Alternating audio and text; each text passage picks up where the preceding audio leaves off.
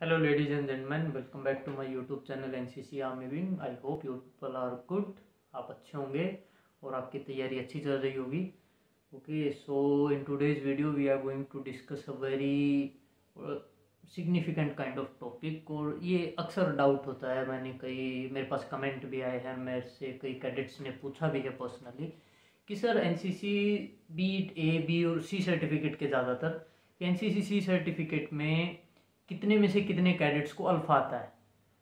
सो so, देखो ऐसा कोई भी fix criteria fix number fix ratio नहीं है कि सपोज़ कि हंड्रेड कैडेट्स अपीयर कर रहे हैं तो उनमें से हम थर्टी फाइव परसेंट को अल्फ़ा देंगे या पहले तीस को अल्फ़ा देंगे। There is no such demarcation ऐसा कोई भी डिमार्केशन नहीं है ऐसी कोई भी लिमिट नहीं है।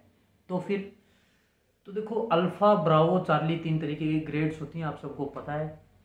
जब भी आप अपने बीट ए सर्टिफिकेट बी सर्टिफिकेट या सी सर्टिफिकेट जब भी आप 75 परसेंट प्लस मार्क्स लेके आते हो आउट ऑफ़ 500 इट इज़ 375 अगर 375 से ज़्यादा मार्क्स लेके आते हो practical plus theory you will be awarded your certificate with alpha grade आपको अल्फ़ा ग्रेड आएगी। अगर आपके 74.9 भी हैं, आपको अल्फ़ा ग्रेड नहीं आएगी। तो 75 परसेंट मार्क्स इज़ डिमार्केशन। जब कई बार कैंप्स के नंबर जुड़ते हैं तो ये 80 परसेंट भी हो जाता है कई जगह पे, ओके? वो अलग बात है।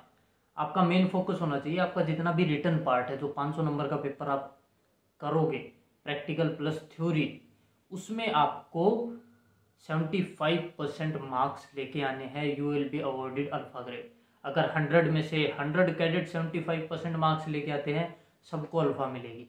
ऐसा कोई फिक्स नंबर नहीं है। ये है ना किसी कॉम्पिटिटिव एग्ज़ाम की तरह नहीं है कि हमारे पास इतने कैडेट्स थे, हमें सिर्फ़ बीस को अल्फ़ा देनी तो हम हर बार उसका बार बढ़ा देंगे कि सबके पाँच सौ में से चार सौ आ रहे हैं, लेकिन हमें सिर्फ़ बीस बंदे चाहिए तो हम चार सौ बीस नंबर पे अल्फ़ा देंगे अब की बार ऐसा कुछ नहीं होता है। बिल्कुल फिक्स रहता है। सेवेंटी फाइव परसेंट से ज़्यादा अगर आप मार्क्स लेके आओगे you will be awarded with alpha grade तो ज़्यादा पढ़िए ओके अच्छा पढ़िए आसानी से आ सकते हैं। सेवेंटी फाइव परसेंट कोई बड़ी बात नहीं है। फाइव हंड्रेड में से थ्री सेवेंटी फाइव मार्क्स आपको लेने हैं। One hundred twenty five marks का बहुत बड़ा मार्जिन होता है। अच्छे से पढ़िए, अपने सिलेबस को पूरा पढ़ के जाइए, अच्छे से पेपर अपियर करिए। You can easily score alpha good good marks for alpha grade आप आराम से अल्फ़ा ग्रेड लेके आ सकते हो। And believe me alpha grade लाना बिल्कुल ईजी है। बस आप ध्यान से पढ़िए ओके अच्छे तरीके से चीज़ों को पढ़िए। मोस्ट इम्पोर्टेंट टॉपिक्स को ज़्यादा पढ़िए। Personality development national integration your disaster management social service health and hygiene M R thereafter your F C B C इनको अच्छे से पढ़िए। आप ड्रिल के चारों तरफ़ वेपन के चारों तरफ़ लिपट के रह जाते हो, नहीं। इनको अच्छे से पढ़िए।